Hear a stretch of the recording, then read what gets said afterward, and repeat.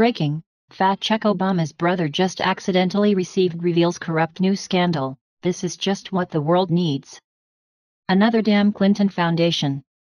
It seems like former President Barack Hussein Obama's brother Malik Obama may have received a check by accident which might prove what the former president has been up to since he's been out of office. By the looks of this check, as is always the case when it comes to crooked Democrat politicians, it's obvious there is some monkey business going on here. This is probably the start of a slush fund operation like the now infamous Clinton Foundation which played a huge role in crooked Hillary Clinton's loss in the 2016 presidential election. On top of the questionable donations, it was uncovered that the foundation was full of financial discrepancies and a number of irregularities in its tax records which could have violated state laws. During the early phases of her presidential run, crooked Hillary Clinton was put under a microscope for the business model her family's foundation uses. But the Clintons, being the crooks that they are all banded together to pushed back. They went as far as calling the foundation one of the most transparent organizations in the world. Keep in mind this is from the same people who redefined what sex is during former president and world-renowned sexual predator Bill Clinton's sex scandals that define his legacy as president during the 90s. Former President Bill Clinton, in an interview with Town and Country magazine, actually went as far as to say that the Clinton Foundation was by a good long stretch, the most transparent of all the presidential foundations and more transparent than a lot of other major foundations in the country. Keep in mind this is the same man who looked us all in the eye and pointed his finger at us while saying he didn't have sexual relations with that woman, Ms. Lewinsky.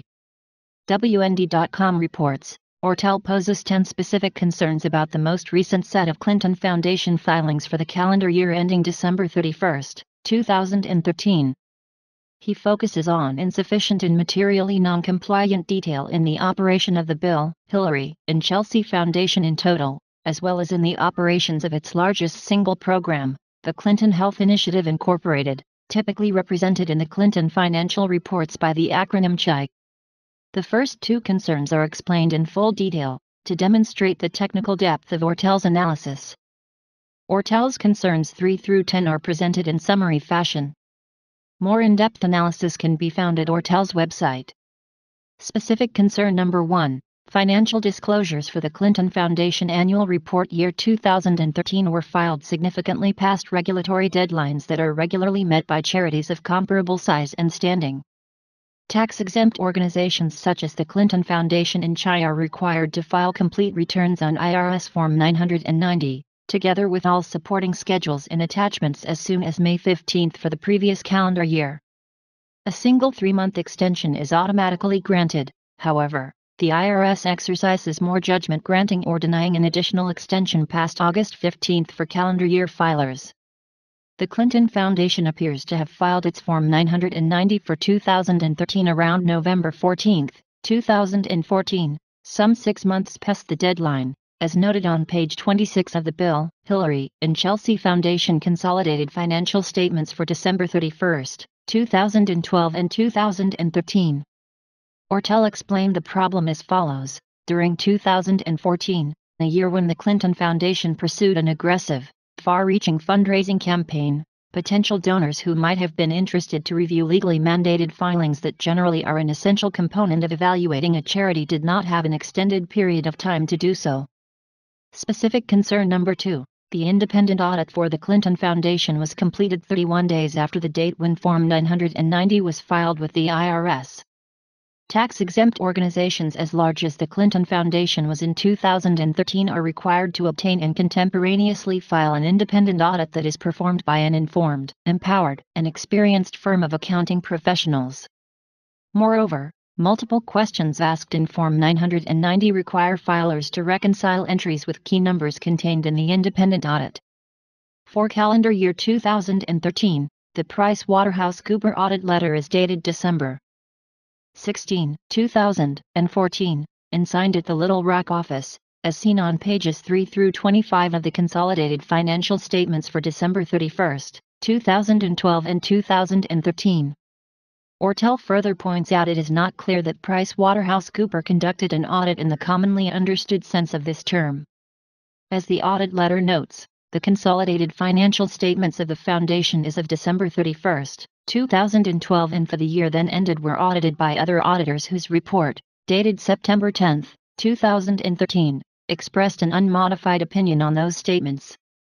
By this language, PricewaterhouseCooper limits its evaluation as follows. TE Consolidated Financial Statements, present fairly, in all material respects, the financial position of the Bill, Hillary M. Chelsea Clinton Foundation at December 31, 2013, and the changes in its net assets and its cash flows for the year then ended in accordance with accounting principles generally accepted in the United States of America. Ortel's point is that since PricewaterhouseCooper did not independently test the opening balance sheet for calendar year 2013, the accounting firm cannot have truly assessed key financial positions and arrangements, let alone fully understood the long and deeply troubling history of chai dating to its formation in Arkansas in September 2009 and of a similarly named predecessor entity.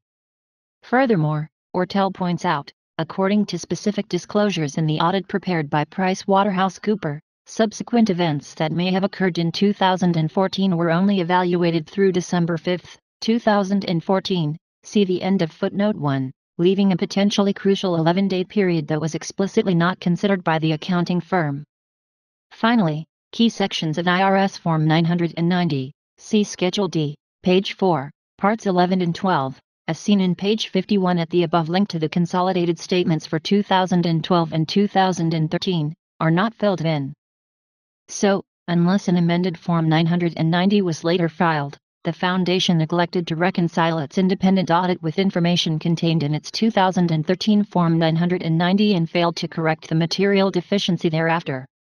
Ortel's specific concerns numbered 3 to 5 are listed in summary form as follows. Specific concern number 3, for 2013, key consolidating information for constituent Clinton Foundation entities was prepared by management and reviewed by independent auditors, however, the information appears deliberately withheld from public view. Specific concern number 4 In relevant years, the Clinton Foundation either filed and obscured consolidating financial information or elected to cease filing consolidating financial information.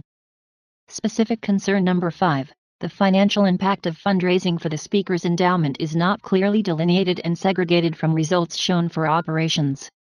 If you don't believe this whistleblower, then all you need to do is ask any Haitian about how the Clinton Foundation defrauded them after the massive earthquake of 2010. Please share if you believe the world doesn't need an Obama Foundation. Please do not forget like on videos, and subscribe, and comment because your voice matters, and visit our page on Facebook, and like them, and follow up. And thanks for watching.